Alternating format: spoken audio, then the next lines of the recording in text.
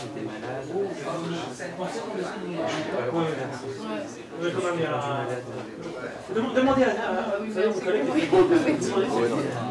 j'avais des questions. Que j'aurais dit que c'était le le plus cinéma fantastique, mais ça, ça, ça, them from plus dire ça, parce qu'on m'a dit qu'il serait la lumière pratique.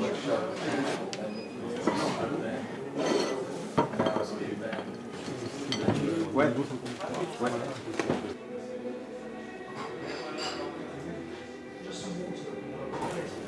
It started, I guess, from when I was very small, when I was a young boy. I was very, very ill with asthma, Ça a commencé quand j'étais très petit, j'ai- j'ai- je souffrais d'asthme. and I was in uh, in bed for a lot of the time, and I didn't go to school, so I had no social life. Et j'étais allongé au lit, euh, et je n'allais pas à l'école, et je n'avais pas beaucoup de vie sociale. I had no friends at all, Je n'avais pas d'amis, none. Aucun. So what I had to do was create my own world, really, around me, um, which was by painting and writing and drawing. Et donc ce, fallait, ce que j'ai fait, c'est que j'ai créé mon propre monde euh, à travers, en, en dessinant, en peignant, euh, à travers toutes ces disciplines artistiques.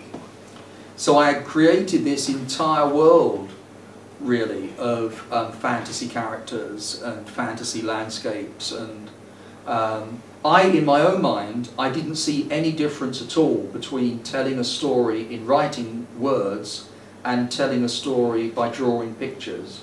Oui, dans mon esprit, euh, un un- ouais, tous mes fantasmes ont créé ce, ce- ce monde, et pour moi, il n'y avait aucune différence entre écrire une histoire euh, par écrit ou euh, la dessiner ou la peindre. C'était la même chose. And it didn't really become a problem until I went to art school. I went to St Martin's School of Art in London, where I studied painting, and they expected, to a certain extent, you to paint men put paint on canvas. Non, ça m'a- m'a pas posé de problème jusqu'au moment où j'ai fait l'école euh, des arts, euh, la Saint Martin School à, à Londres, où on m'a dit que bah, voilà, quand on est peintre, on peint et on, on accroche ses peintures euh, contre le mur. Et on est défini comme peintre. And I was doing that, but I was also doing performance poetry. I was writing poems and performing them, and I was doing uh, comic strips and photography Ah, je faisais- everything. Voilà, je faisais des poèmes, j'écrivais, euh, je, je, je déclamais des poèmes, j'en écrivais, des bandes dessinées, et la troisième chose que je... Et la photographie, euh, je prenais... The best way that I've described it in the past is to say that it's like when you're in an aeroplane and you look out of the window and there's clouds and you see peaks of different mountains coming through the tops of the clouds. La, la meilleure image que je trouve, c'est par exemple quand on est dans un avion et qu'on survole, le, le- le- le- on voit les nuages et on, on voit les petits pics de, de, de montagnes, différents pics comme ça qui sortent des nuages. This is just a different peak, but it comes from the same mountain. Voilà, quand l'avion plonge dans les nuages, ben, on se rend compte que ces différents pics appartiennent à la même montagne. Donc voilà, moi quand je, vois mon film, ben, voilà, c'est un pic de- d'une même montagne. And, and of course, it was based on some of the uh, paintings that I'd fallen in love with by American artists like Andrew Wyeth and Edward Hopper.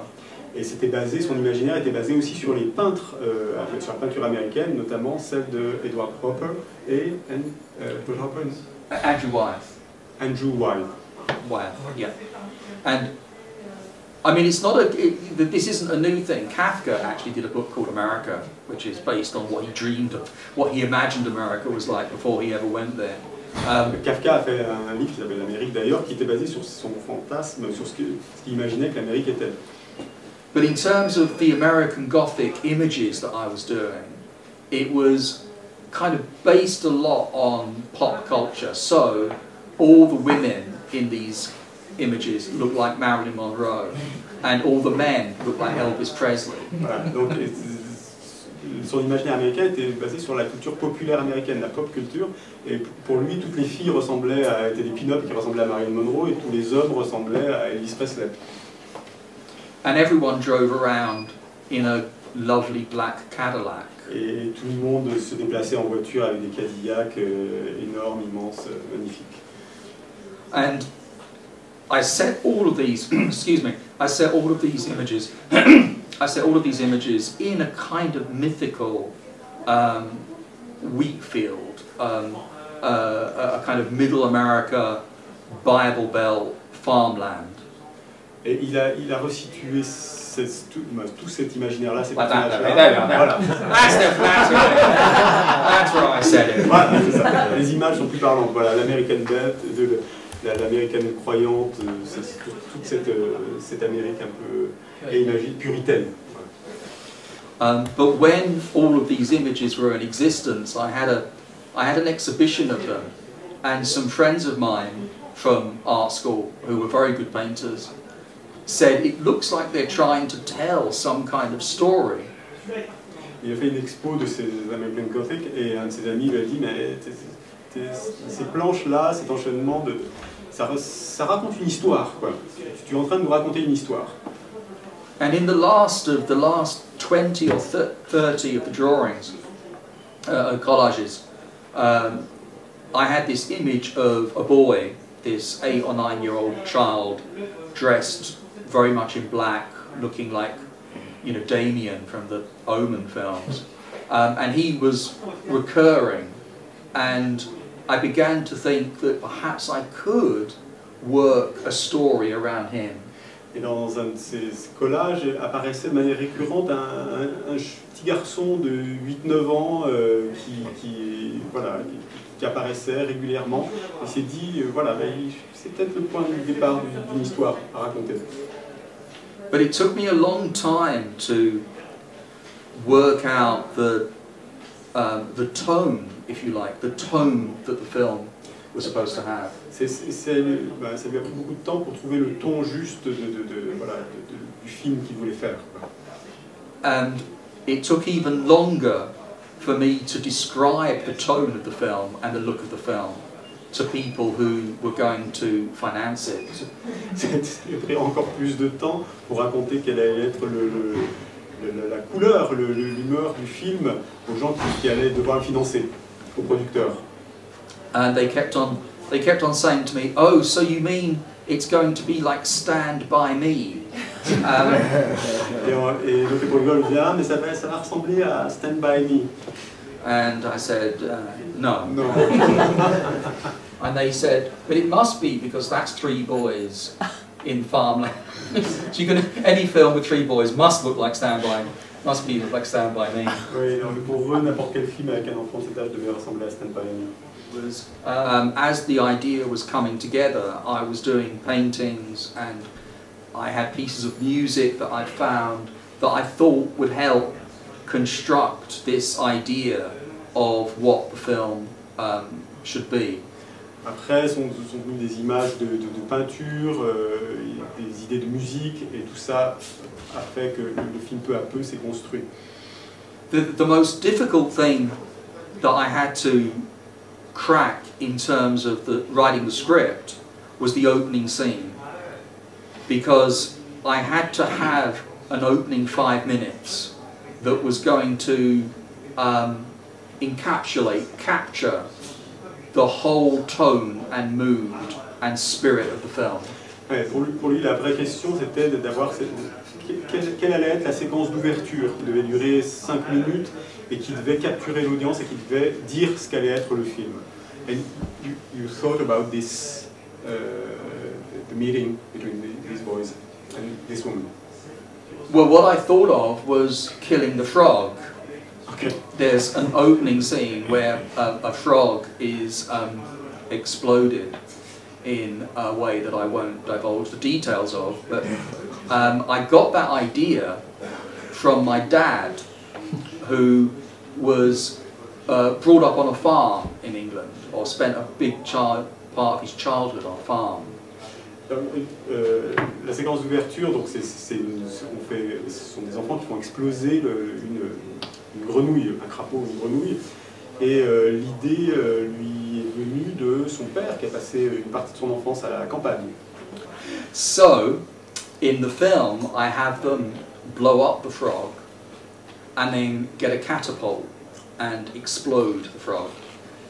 Donc dans le film, les enfants font exploser la grenouille avec, une, avec un lance-pierre. Euh, And once I'd thought of that, I had the film. I knew how the I knew how to write the rest of the screenplay.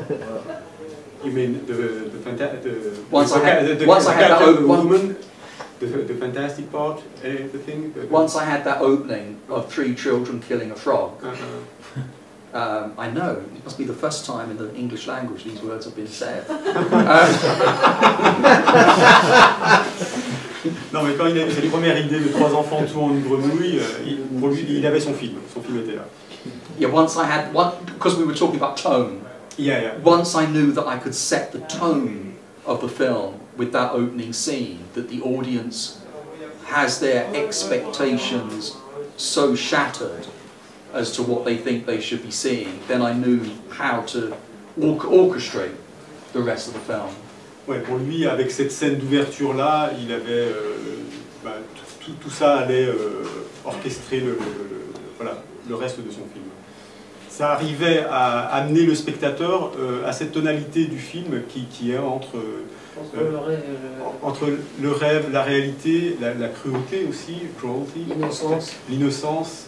Tout- tous ces tons-là étaient résumés, étaient, euh, Mm. étaient déjà dans cette première scène.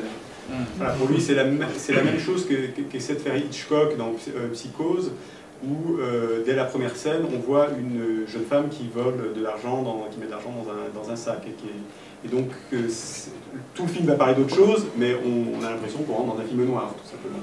And then that character gets into a shower Mm. and is butchered with a knife. Voilà, ce personnage principal euh, prend une douche et est poignardé à mort. And suddenly you're in a completely different film. Et tout d'un coup, on est dans un film totalement différent. And what's terrifying about that moment in the shower for an audience is not that they're seeing somebody killed with a knife, but they're seeing somebody attack the narrative in a way that had never been attacked before. Ouais, mais ce, qui, ce, qui est- ce qui choque les gens, c'est pas tant qu'une femme se fasse euh, assassiner sous la douche, c'est que euh, c'est bah, c'est- c'est que c'est l'attaque narrative, c'est l'attaque de- de la narration là où elle allait, euh, qui est le plus choquant. C'est-à-dire qu'on s'attendait à voir un certain film, et là on se retrouve de manière totalement brutale dans un, dans un autre film. And so the exploding frog is the film's shower scene. Voilà, d'accord, ok. Voilà, donc euh, voilà, c'est ce, ce moment-là où la grenouille explose, voilà, c'est un peu la, sa scène de la douche euh, à lui euh, dans, voilà, dans son film. Because it's doing something so unnerving at the beginning of a film, you can then do anything, anything that you like. Uh, childhood, innocence, uh, the, the, how a child can, uh, can look at the world is something which interests, uh, which interests you. Le regard d'un enfant sur le monde, l'innocence, l'enfance, qu'est-ce que... euh, Well, but I, I think it. I think it's, it, it interests cinema. Mm. I think cinema is about aiming an eye at something, and that eye is a camera lens, and seeing the world for the first time. Il ne sait pas si c'est vraiment mince. Il sait pas si c'est- intéressant que ça, mais ça intéresse le cinéma dans tous les cas, parce que le, le cinéma c'est un point de vue et c'est voir euh, à, à travers la caméra, c'est un point de vue, voir le monde d'une certaine façon, d'un certain endroit. As a, as a filmmaker, that's the thing that you're asking yourself the whole time when you're filming. You know, everyone's filmed a road, everyone's filmed a wheat field, everyone's filmed somebody drinking gasoline. Well, perhaps they haven't. perhaps they haven't done that before. But, but, but the, the, the question you're always asking yourself, and you're asking yourself and the crew, you're asking this with your cameraman, is how do we make this look new? Oui, c'est la question permanente que se pose un réalisateur, c'est la question du point de vue euh, et dont on discute avec toute l'équipe. C'est- Qu'est-ce que je vais apporter de nouveau? Quel, quel- quel va être le, le point de vue euh, personnel et novateur que je vais avoir sur un champ de blé, sur un enfant, sur euh, voilà, une réalité And of course, through the eyes of a child, does that perfectly because the child is seeing everything for the first time. So you can, which was one of the styles of the reflecting skin, you bring all the colours up more, you bring all the sound up more, you intensify everything. Oui, le regard d'un enfant, c'est le regard privilégié de, de voilà, de, de comment quelqu'un découvre le monde. Donc, on va intensifier plus les, voilà, tout est raccord. Euh, on va intensifier les couleurs, on va intensifier la musique, on va, voilà, parce que tout est nouveau dans, dans le regard de cet enfant. Bon, là, c'est une des scènes euh, fortes du film. The title's explained in a tiny little scene in the film,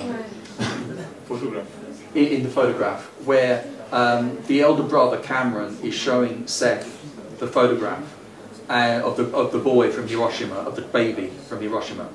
And he said that his skin, the baby's skin was burned and it become shiny like a mirror so you could see your face in it. Oui, voilà. Le, le- le titre, le titre du film est. euh, en fait, il y a un moment dans le film où le frère de, de Seth, qui s'appelle Cameron, qui est campé par Viggo Mortensen, montre des photos et montre les photos d'un adulte qui tient un enfant qui a été euh, contaminé, brûlé par euh, Hiroshima, par la bombe d'Hiroshima.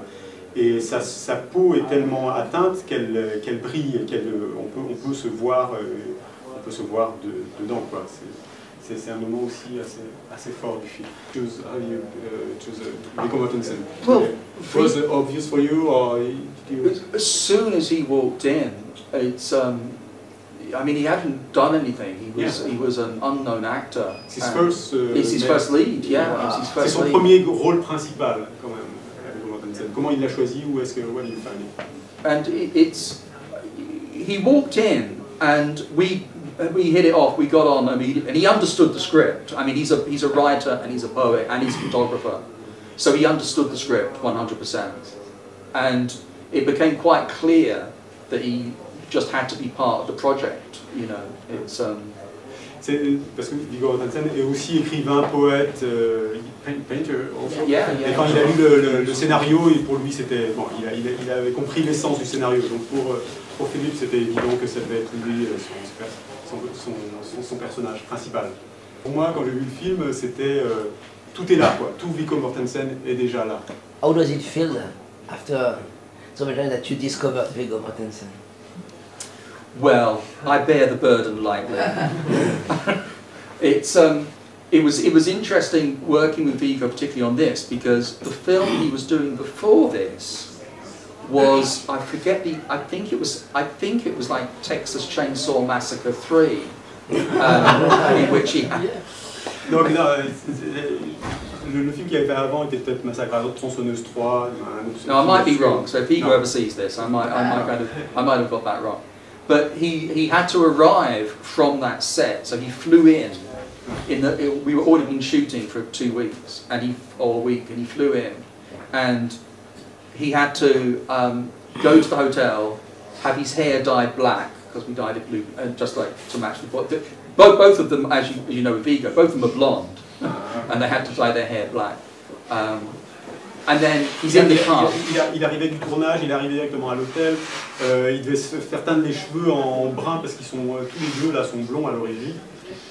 And then the first scene he's doing is making love to Lindsay Duncan. Et la première scène qu'il a à faire, c'est la scène d'amour avec Which is Lindsay not this Duncan. C'est pas, pas cette scène. Mais la première scène d'amour avec Lindsay Duncan, qui est la- le personnage féminin. So that's an introduction to film, Voilà. the film world of me. Voilà, ça a dyed été hair, son- son- son- dyed hair and making love in 10 Voilà. minutes. Ça a été son euh, l'introduction, son arrivée, euh, voilà, tout de suite, l'entrée en matière dans le film, se teindre les cheveux et faire l'amour, à, à- à la scène d'amour au premier jour. But Vigo is so wonderful in this, as indeed all the um, all, all the actors are. But Vigo and Lindsay Duncan, who's the uh, the female lead, um, the one note that I kept on telling them is play it for absolute real. What I'm doing, don't the way that I'm making it look and how fantastic it is in terms of fantastique. Don't think of that. Just play it absolutely for real. And if you look at Vigo, he's playing it Yeah. totally truthfully. Non, voilà, ce qu'il il disait aux comédiens, aux deux comédiens principaux, Vigo et euh, Lindsay Duncan, jouez-le vraiment de manière la plus, la plus réaliste possible. Euh, Ne, ne vous fiez pas au scénario qui a l'air un peu fantastique.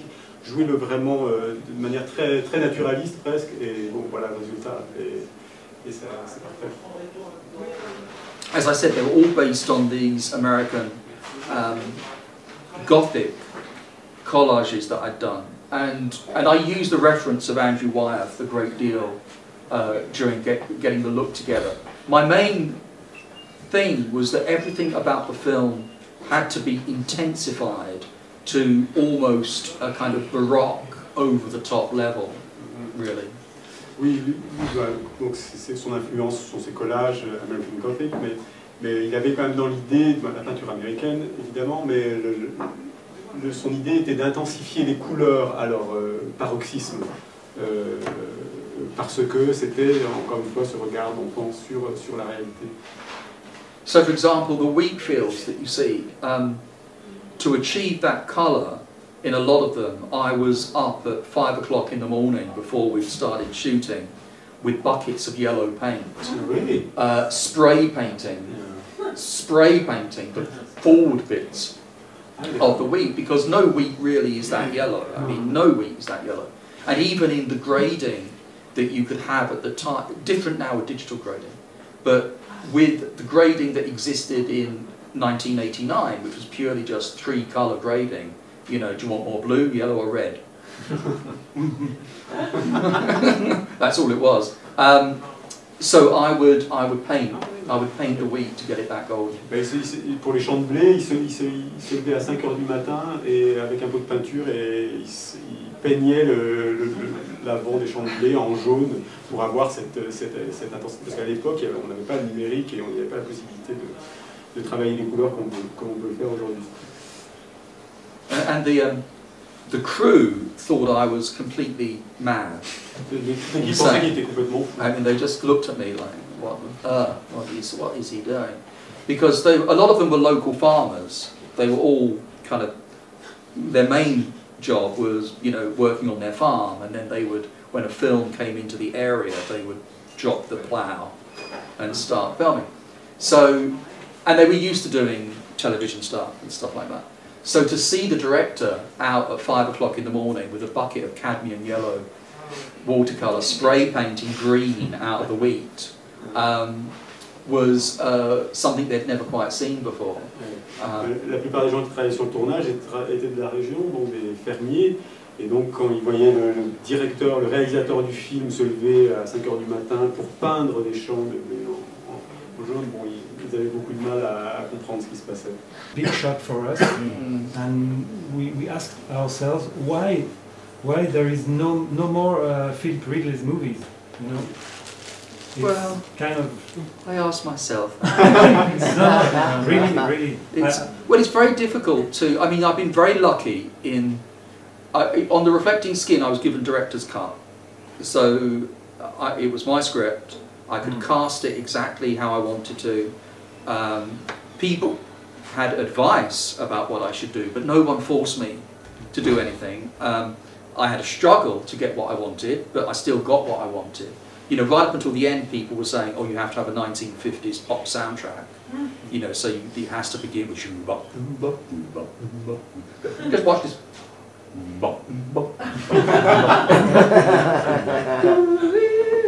that's, that's what they that's what they wanted on that film. Um, so I had to fight very hard to get the big orchestral mm. operatic score that I wanted. But I got it. You know, they, they didn't fight me in the sense of overriding me. And, and they were just trying to make it more commercial. I mean, they, they were just doing their job.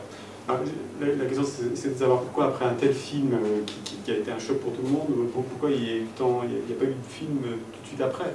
Et donc ce que dit Philippe, c'est qu'à l'époque, euh, il avait des, des, des producteurs qui, qui, évidemment, demandaient des choses, mais il avait sa liberté d'artiste, c'est-à-dire qu'il pouvait quand même faire ce qu'il voulait au niveau de, du casting, de la musique, du son, euh, une vraie liberté d'artiste.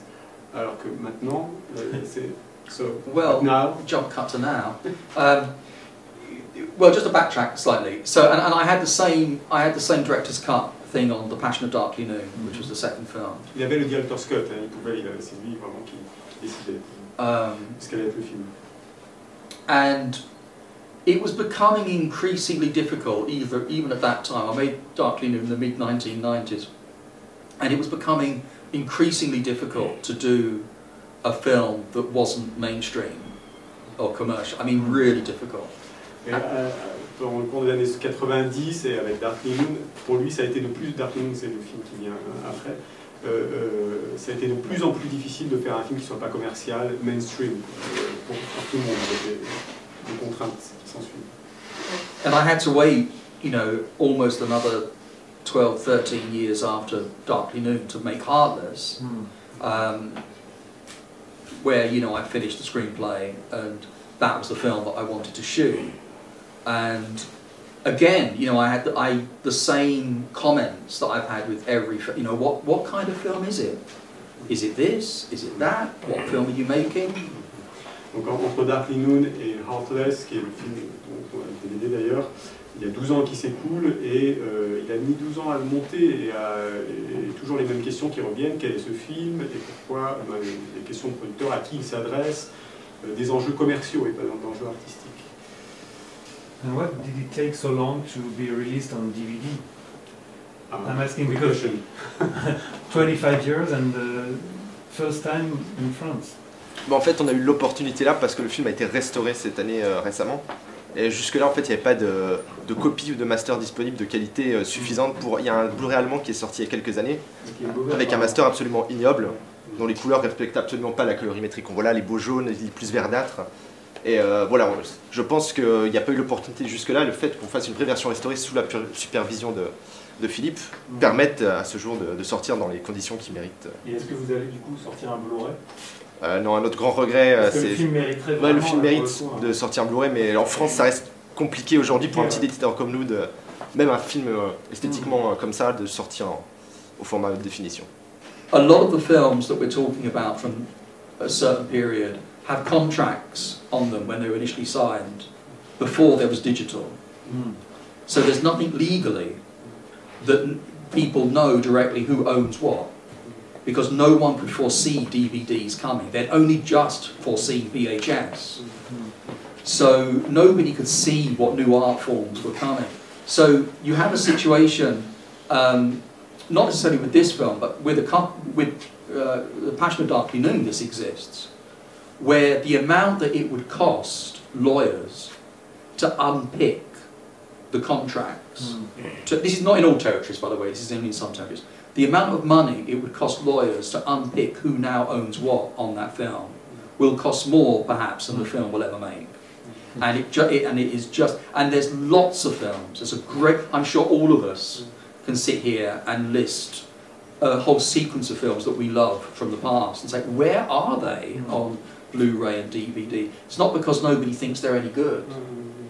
Ah oui, il y a un problème de droit, c'est qu'à l'époque on n'avait pas anticipé la- l'arrivée du numérique et euh, dans les contrats euh, de- de- des films, euh, voilà, il n'y a rien qui est, spécifié à, ce niveau-là. Donc là, ça coûterait une fortune de, savoir où sont les droits et, comment reconstituer ça pour, pour, pour remasteriser et redonner du, lustre à des, films. C'est pour ça qu'il y a des films qui sont visibles tout simplement ou qui sont très mauvaise qualité. It's nice of you to worry so much. Enfin, il est touché par la façon dont voilà, tout le monde s'inquiète I mean, it's never, it's never. Um, production cinématographique. Because we would like another movie, other movies. Well, So thank you, thank you, thank you. It's, uh, but it's just kind of, it's not that I'm, you know, it's not that I don't want to. It's just that I can't for, if I can foresee a situation in which the film I want to make is the film that ends up being made, that's fine. But, you know, it takes two years Mm. out of your life, sometimes longer if you do the festival circuit. I mean, the Darkly Noon took nearly three years out of my life, really. I started writing the script in 87, and I was still on the festival circuit with it and releasing it in 1992. And that's not unusual. I mean, that's not unusual um, with an art house film because no, it doesn't get worldwide release on the same day. Territory by territory buys the film, and you have to go around and you want to go around and Si, promote it. Et si, si déjà, euh, par, par rapport au projet, si le film qu'il veut faire euh, ressemble au film qu'il peut faire, c'est-à-dire que si vraiment il y y a- voilà, dé- déjà ça lui donnerait un peu, un, un peu plus envie, et puis ce qu'il y a, c'est qu'après il y a la promotion du film qui prend énormément de temps, et ça prend, euh, ça prend énormément de temps de vie, de- ça vous accapare. Donc ne faut pas sous-estimer ça. you know, if you're directing a film, if you're the director, it's your job to be the kind of engine mm. of the piece. You've got to turn up every day mm. and convince 100, 200 people mm. to work for you and create your vision of what the film should be. Now, you have to 100% believe in the film. Ouais, quand on fait un film, on doit vraiment être le moteur de, de la bête. C'est-à-dire qu'on doit motiver euh, euh, 100 personnes, que, voilà, embarquer euh, toute une équipe avec soi. Et il faut, il faut avoir cette énergie-là. On va remercier Philippe. euh, voilà, oh, thank you. on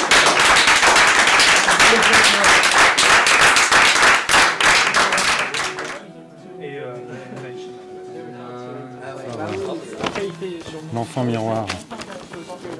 Bah, je les ai achetés à l'époque, euh, à la sortie du film en 91.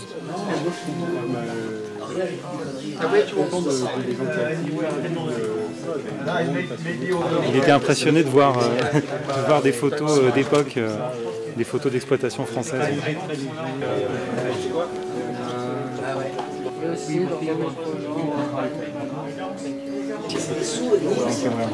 Thank you for. It's been lovely to see you. Thank you very much. No, honestly. Thanks. Yeah.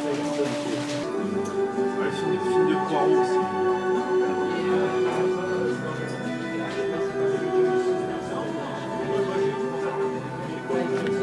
Is that one? Thank you. C'est ta collection d'avant. Comme ça, ça fait une vente en plus. Tu sais que je, tu sais que je ne raisonne jamais en termes de vente. bien sûr. Ça n'a jamais été. That's very nice of you to tell me that. I appreciate that very much. Thank you. Thank you very much. Nice to see you. Nice meeting you. Nice to meet you too. Hello. Now, this is the popular place. Yeah, popular place.